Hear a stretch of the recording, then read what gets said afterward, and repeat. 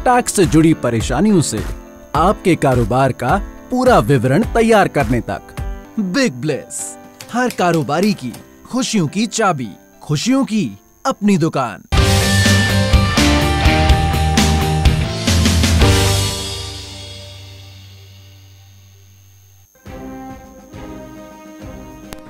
Malaysia exchange में भारी गिरावट के बीच दिल्ली तेल तिलहन बाज़ार में सभी तेल तिलहन की कीमतें नीचे आ गई हैं। बाज़ार सूत्रों ने कहा है कि मलेशिया एक्सचेंज में सुबह के कारोबार में लगभग आठ प्रतिशत की गिरावट आने से तेल तिलहन के भाव औंधे मुँह गिर गए हैं। वहीं इस जोरदार गिरावट से विशेषकर सोयाबीन, डिगम, सीपीओ, पामोलिन जैसे आयाती तेलों के दाम पिछले एक महीने में लगभग 35 से 40 प्रतिशत टूटे हैं। देसी तेलों के दाम पहले से मंदे चल रहे थे, इसलिए गिरावट के दबाव में दाम टूटे हैं, पर आयाती तेलों के मुकाबले देसी तेल की गिरावट मामूली है।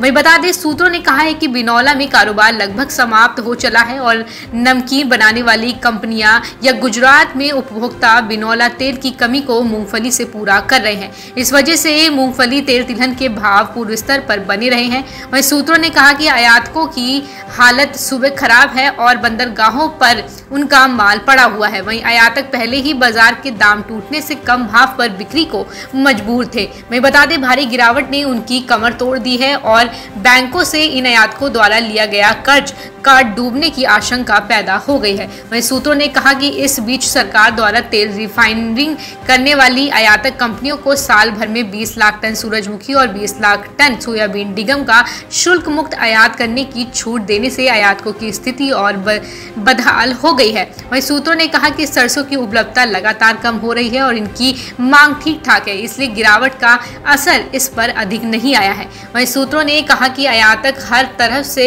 परेशान है, क्योंकि पहले डॉलर के जिस भाव पर उन्होंने खाद्य तेल आयात का अनुबंध किया था, रुपए के मूल्य में गिरावट के कारण उस बैंक कर्ज के लिए उन्हें अब अधिक धनराशि का भुगतान करने का संकट आ गया है। वहीं सूत्रों ने कहा कि खाद्य तेलों के मामले में अनिश्चितता को केवल तेल तिलहन उत्पादक बढ़ाकर ही दूर किया जा सकता है।